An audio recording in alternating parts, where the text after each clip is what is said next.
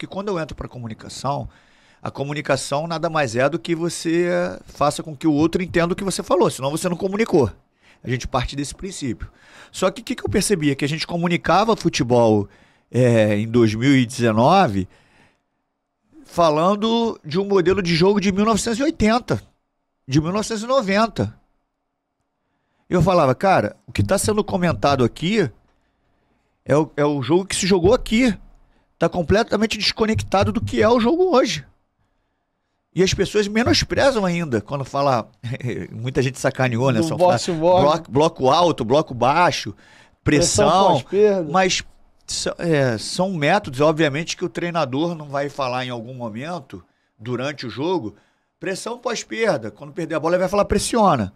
Tá? Mas é, no processo de elaboração dos treinamentos, quando eu consigo informar com padrão, você consegue organizar melhor. Antigamente, quando chutava a bola para frente e o time tinha que sair, um gritava sai, o outro adianta. Então você não tem padrão. Quando você dá um nome, você padroniza.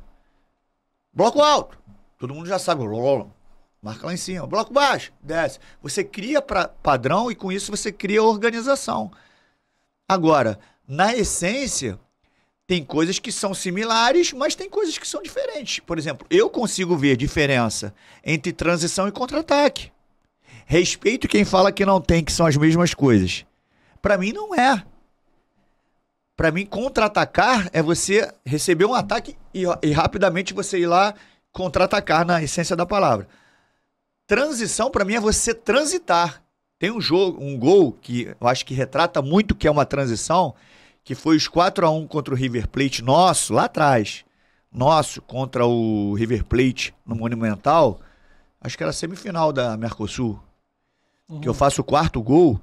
O Romário vem aqui atrás buscar a bola, faz a tabela com o Juninho Paulista, sei lá, com o Juninho Pernambucano, que dá no Juninho Paulista, aí o Kleberson passa. Isso a gente estava sendo atacado. A gente começa a transitar de um campo do setor defensivo para o setor ofensivo. E aí o Kleberson passa, dá o passe para outro lado, eu entro aqui de fora da área, finalizo e faço o quarto gol. Então, para mim, isso é uma transição. É lógico que, no, num jeito mais popular, você fala a mesma coisa, contra-ataque. Só que para quem está ali, eu queria mostrar um, um processo diferente do que está ah, Pedrinho, mas o cara não tá entendendo. Mas eu quero também causar um desconforto nele. Senão, cara, o cara vai ficar lá em 1980, a gente tá em 2050 falando coisas que não existem.